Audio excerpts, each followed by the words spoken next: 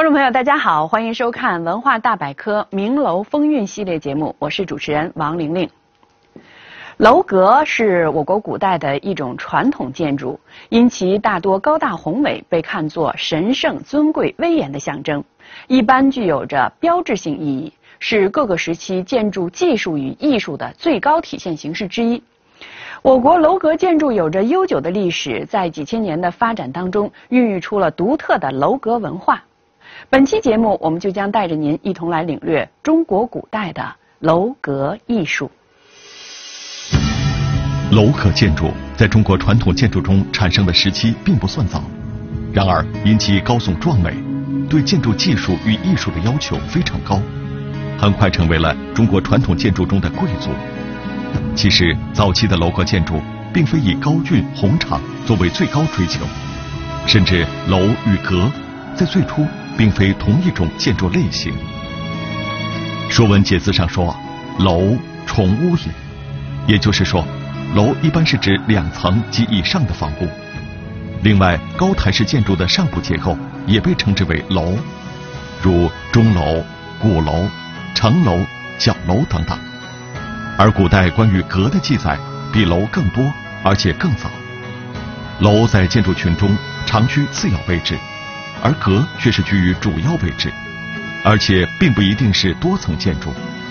阁一般认为最早源于原始社会时期产生的干栏式建筑，而随着楼与阁两种建筑形式的发展，两者渐渐融合，成为中国古代建筑艺术中的典型代表。城楼在战国时期已经出现，汉代的城楼已经高达三层。阙楼、室楼、望楼等都是汉代应用较多的楼阁形式。楼阁建筑在历代帝王的垂青下得到了极大的发展。据记载，汉武帝刘彻曾经建造了一座名为井干楼的楼阁，高达五十余丈，相当于近一百七十米，在当时真可以称得上是摩天大楼了。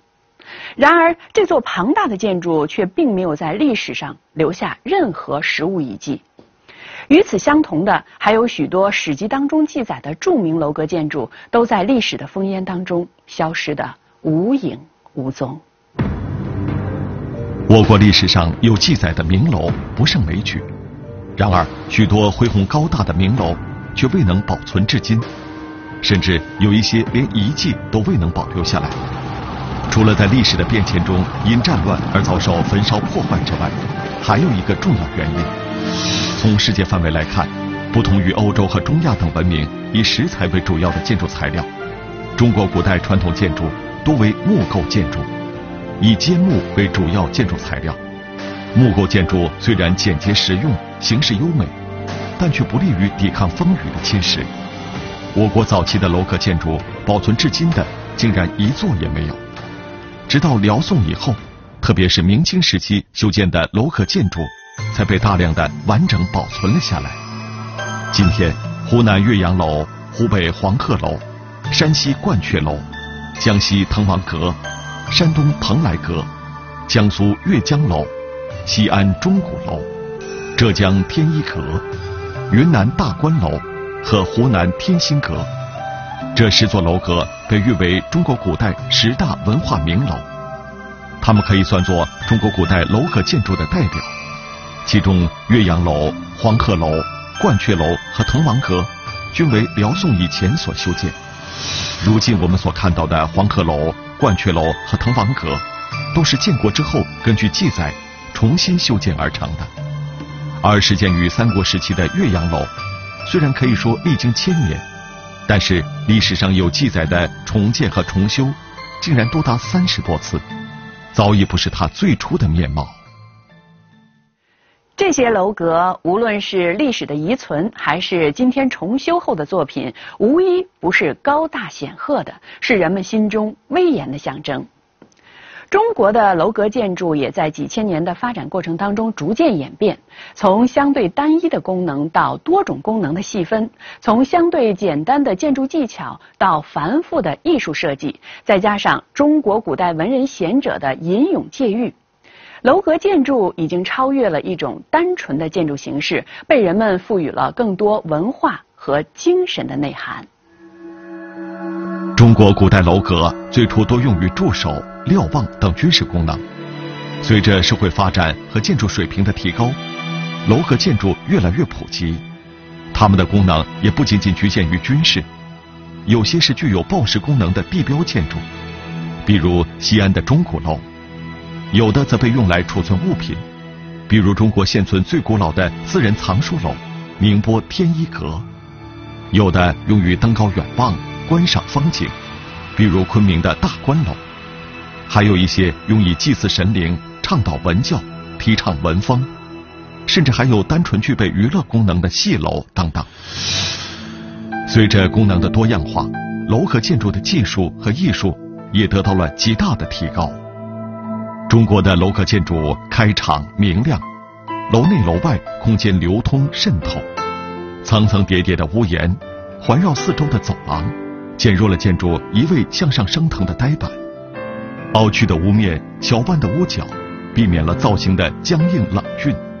楼阁建筑从早期单纯的追求高大壮美，进而变为追求和谐优美的审美意蕴。层峦耸翠，上出重霄；飞阁流丹，下临无地。这是唐朝诗人王勃对滕王阁的描写。坐落于赣江东岸、背城临江的滕王阁。既是江畔高耸的标志景观，登高又有落霞与孤鹜齐飞、秋水共长天一色的视觉体验，将景观与观景巧妙地结合在了一起。楼阁建筑也因与自然环境的呼应，变得更加灵动和谐、意境悠远，成为了天地的一部分。自古以来，有许多诗文鲜明地表达了楼阁的人文精神。如“白日依山尽，黄河入海流。欲穷千里目，更上一层楼”，就道出了诗人登楼远望、荡涤胸怀，仿佛置身于天地之间的真切感受。望海楼、见山楼、看云楼、得月楼，从这些颇富意境的楼名当中，也可以体味出人对自然的无限留恋。独特的审美特色使中国楼阁建筑成为我国古代建筑当中的瑰宝。好，观众朋友，今天的文化大百科到这里就结束了。获取更多央视综艺的动态资讯，您可以关注我们的新浪官方微博央视综艺参与实时互动。您可以拿起手机，打开微信、微博等任何可以扫描二维码的软件，扫描屏幕下方的二维码来加入我们。非常感谢您的收看，让我们相约明天同一时间再见。楼阁万千，各得其名。这些名字背后有着怎样的含义？一座私人书阁竟然成为皇家仿效的蓝本，这其中有着怎样的缘由？一组重建的鼓楼成就了一篇千古雄文，忧乐之间尽显文人风采。敬请收看《文化大百科·名楼风韵》系列节目之《名楼轶事》。